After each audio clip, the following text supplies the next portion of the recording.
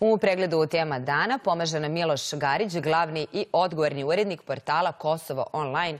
Miloše, dobro jutro. Dobro jutro, hvala na pozivu i čestitam svim gledocima i vama današnji badnji dan i sutra Božić. To su, ovako da kažemo, jedni od najznačajnijih dana u godini, tako? Hvala. Srećni i tebi praznici, nismo se videli u ovoj godini. Krećemo sa štampom i, ono što je zaista vest, mi smo rekli sporta, najmanje ima veze sa sportom, jeste ovo što se trenutno događa u Melbourneu, e, Novaku Đokoviću. Jedan od naslova kaže Đokovića isteruju, najboljem svetskom teniseriju ukinuta viza nakon višečasovne torture na aerodromu. Kako bi ti objasnio, kako si video celu situaciju? Pa, potpuno je jasno da ova odluka austrijskih vlasti i svo to maltretiranje koje još uvek preživljava Novak Đoković u Melbourneu nema nikakve veze ni sa medicinom, ni sa zdravljem, ni sa vakcinom. Najmanje ima veze sa, sa sportom, a zapravo je totalno jasna politička odluka australijskih vlasti. I ono što jeste sada negde potpuno vidljivo je da su mnoge stvari vezane za tu koronu, nažalost, prešle iz domena medicine, e, brige o zdravlju na jedan politički teren, možemo reći u ovom slučaju na teren političke naučne fantastike, jer e, da se jednom sportisti poput Novaka Đokovića, bilo kom sportisti, ali zna se da je Novak Đoković jel da, u svom sportu toliko e, daleko stigao i na planetarnom nivou je čovek postigao ogromne rezultate. Da se njemu zabranjuje ulazak u neku državu pod firmom, makar i pod firmom brige o zdravlju, e, je ipak e, jedan e, nečuven događaj te vrste, jer to je čovjek potpuno zdrav, to je čovjek u potpuno svojoj kondiciji fenomenalnoj, to je čovjek koji je preležao taj virus i koji e, ni po kom osnovu ne bi mogao da bude e, sporan e, nigde na ovom svetu, ali je eto jednostavno zbog tih pravila koja su takva kakva su i tu zato govorimo o političkoj odluci jer sve vlade sveta su posljednje dve godine upregnute potpuno u te nove mere, u ta nova pravila koja donose iz dana u dan, a istovremeno imamo za svo to vreme nove talase korone, nove sojeve i podsojeve. Dakle, nešto nije u redu. Nešto nije u redu i onda se dolazi do ovako nekih e, situacija koje, su, koje nikome ne trebaju. Ne trebaju ni australijskim vlastima, a ne trebaju ni Novaku Đokoviću, jer on je rizikovao vrlo svesno. On je, on je negde znao da može e, da se dogodi neprijatnost i što se tiče njegovog ulaska u Australiju i što se tiče tamo tretmana koji, koji bi imao tokom turnira jer kontroverze su bile ogromne od samog starta i od same njegove najave. Ali to je jedan od njegovih omiljenih turnira. On je miljenih publike tamo. Samo da pročitamo jednu vest koja je upravo stigla, to je poslednja vest iz Melburna.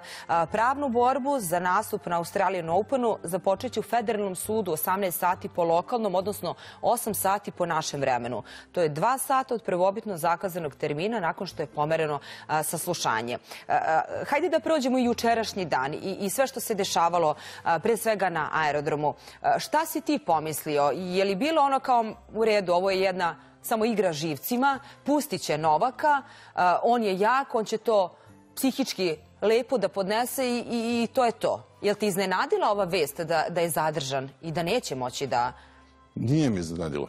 Nije mi iznenadila, a reći ću zašto. Zbog toga što se e, podgrevala ta atmosfera od samog prvog momenta kada se saznalo da Novak putuje u Australiju. Krenule su u javnosti na svetskom nivou razne e, priče povodom toga. Reakcije su bile e, vrlo, vrlo različite od onih koji su to podržali do onih koji su vrlo oštro kritikovali e, Novakovu nameru da učestvuje na turniru iako nije vakcinisan. Onda se u sve to uključila i australijska javnost, australijska vlast. Došlo je do usijavanja te, te priče i nekako se moglo očekivati da će posle čitavog tog dana koji je obilovao raznim vestima vezanog za Novakov put u Australiju, bilo je negde, nažalost, očekivano da će australijske vlasti da naprave jedan ovakav potez. Očigledno su oni to i hteli da na jedan način iskoriste Novakov dolazak da u svojoj javnosti australijskoj e, naprave jedan efekat e, toga da kažu da eto, pravila važe za sve i da e, pre svega australijanci moraju da shvate da moraju da poštuju sva ta pravila, ili tako, da ne bi ispalo kako eto zbog jednog čoveka se ruše sva pravila, ali, ali shvatili smo da nije o tome reč dosta tenisera je ušlo po tim izuzetim pravilima, tako? Dobili su mogućnost, e, uprkos tome što nisu vakcinisani, da uđu u Australiju i da učestvuju na turniru, a isključivo se za Novaka Đokovića pribeglo ovoj drastičnoj meri. Ali ono što meri. nismo čuli, ko su ti teniseri? da li je ipak bio pogrešan potez to što je Novak Đoković obelodanio da je on dobio medicinsko izuzeće? Je li to njih tamo iznerviralo? Pa svakako bi se o tome e, govorilo. Nije on mogao to da sakrije, niti je to Ali mi ne znamo ko su ostali teniseri koji su takođe dobili medicinsko izuzeće. Oni to javno nisu rekli. Ali se zna da su ušli. Zna se. Zna se da su ušli. Čim se zna da je ušao jedan broj tenisera koji imaju e, to medicinsko izuzeće, ta stvar je apsolutno onda javna. I o tome može da se govori, je li tako? Nevažno je da li ih je trojica, desetorica ili samo jedan. E, dakle, u ovom slučaju je jasno da je iskorišten na dolazak Novaka Đokovića, zato što je Novak Đoković e, tako veliko ima ime na, na svetskom nivou, da se preko njegovog imena naprave politički poeni i da se donese jedna odluka koja će biti biti e, jel da, e, na koju, preko koje će se iskoristiti dodatni jel, uticaj neki vlasti na e, stanovnike Australije i uopšte generalno na tu čitavu svetsku javnost koja se sada bavi koronom više nego svojim životima. Korona je tema broj jedan u svetu, apsolutno dominantna i pretvorili smo se potpuno u, u, u, u korona planetu u poslednje dve godine, a sada e, ponovo novim ovim talasom omikrona to dobije jednu novu dimenziju I jedna psihoza se stvara ogromna, e, psihoza na svetskom nivou koja se s ovim samo dodatno pojačava, a Novak Đoković je preuzeo na sebe jedan zaista veliki rizik i to je potpuno jasno. On je mogao i postoje mnogi koji će reći pa zašto je uopšte krenu ako nije vakcinisan, je tako? Postoje mnogi koji, koji na taj način doživljavaju, pa i ovde kod nas ovu situaciju, kažu pa šta je uopšte e, hteo tamo ako, ako se nije vakcinisao i ako nije e, ispoštovao ta pravila koja su, koje važe jel da, za, za, za većinu. Ali, s druge strane, Novek je na ovaj način zapravo uradio jednu veliku drugu stvar, jer je razobličio e, tu lažnu jednu zapadnu eh, liberalnu politiku koja se eh, bavi i koja propagira navodne slobode u svemu i svačemu, a onda na jedan ovako drastičan način ukida slobodu jednom čoveku i vraća nas u neka vremena, zapravo ukazuje da, da, da ulazimo polako u neko vreme jednog vrlo opasnog totalitarizma, makar on bio zaogrnut u bele mantile i maske koje se bave brigom o zdravlju, ali pre svega se ovde radi o, jednom, e, o jednoj odluci koja i te kako miriše na, na jedan totalitarizam na svetskom nivou sada u ovom trenutku. A, veruješ li da će se nešto promeniti u toku dana? Pa ne verujem. Jer gledali smo sada, evo, posljednja vez da je australijski premijer rekao da će Novak Đoković biti deportovan. E, još uvek nije zvanično doneta odluka e, i to je sada pitanje trenutka u kome će da se dogodi, ali sumnjam da će oni posle svega... Ako je to rekao i pre suda, i pre žalbe, i pre razmatranja, šta to znači? Pa to znači da su oni doneli odluku e, još odavno, zapravo da su je, da su je znali pre nego što je on sleteo, pre nego što je on sleteo na taj aerodrom i da tu više zapravo nema nikakvih dilema da je, da je Novak Đoković nepoželjen u Australiji i to je to. Govorimo i o Božiću, o ovom predstavljanju štampe i o Badnjem danu.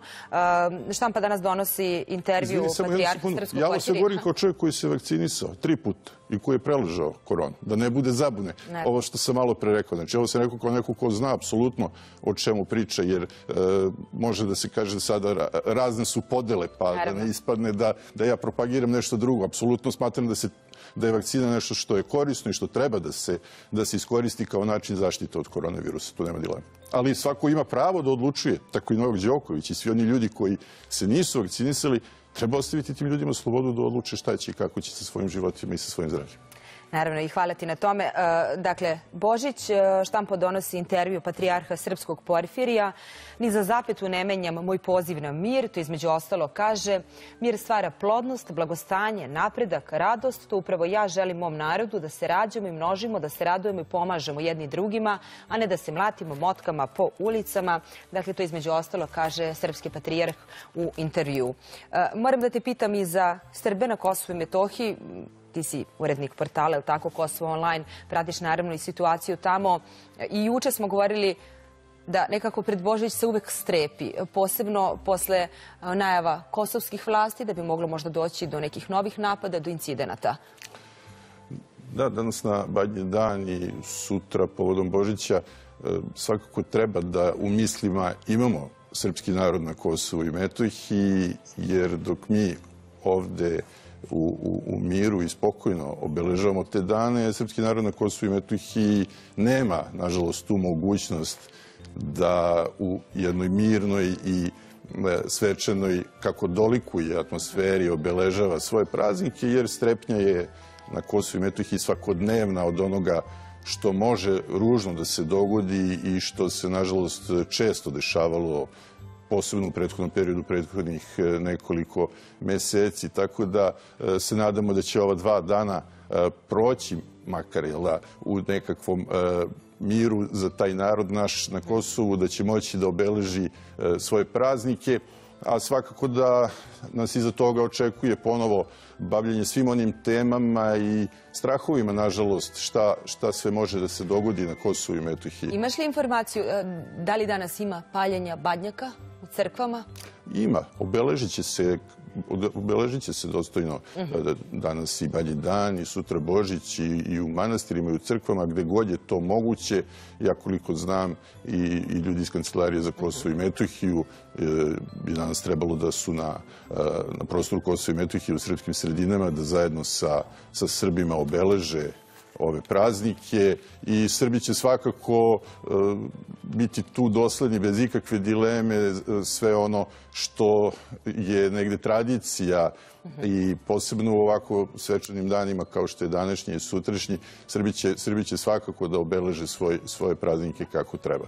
Situacija sa električnom energijom, znamo da su u toku restrikcije. E, studenti su se e, e, žalili da, da, im je, da nemaju struje u, domovima, da su im otkazana čak i predavanja zbog grejanja. Videli smo šta se desilo zbog rudarenja kriptovaluta. Trenutno je velika kriza na Kosovo i Metohiji po pitanju energetike. Struja se isključuje već 15 dana unazad. Velike su restrikcije, tako i u srpskim sredinama, pa i na severu Kosova i Metohije gde je možda to i e, sa nekim e, odloženim e, dejstvom krenulo, ali je u svakom slučaju veoma nepovoljno stanje.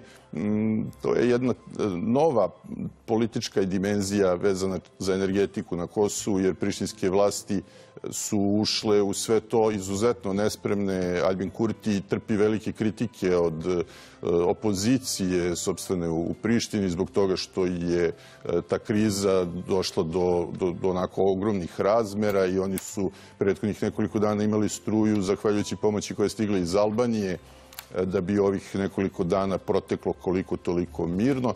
Međutim, ta nervoza zbog energetske krize se preliva i na politički teren i naravno da e, Albin Kurti i albanska politička elita u Prištini pokušava da prebaci težište na Srbe. Na taj način ne bili e, sebi prostor malo olakšali, jer uvek je lakše kada se kada se upre prstom u Srbe, da su oni krivi, tako će verovatno u ovom slučaju, nažalost, biti i nadvija se sve veća i veća mogućnost i opasnost da se u sledećim danima ponovo desi nešto ružno, jer to su oni načini na koji prištinska vlast svoje probleme rešava, da tako kažem, upadajući u srpske sredine, zivajući tamo tenzije.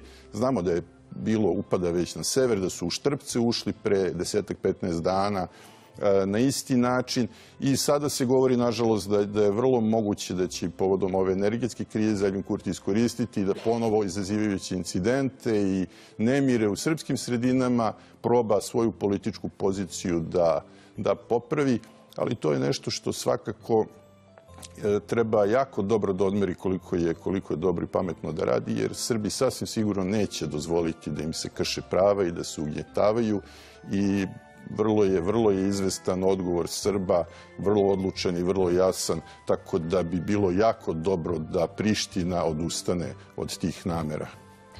Hvala ti mnogo na ovom razgovoru, jednom praznici. Hvala vama na pozivu i također želim sve najbolje. Miloš Garić, urednik portala Kosovo Online, je bio naš gost u predstavu.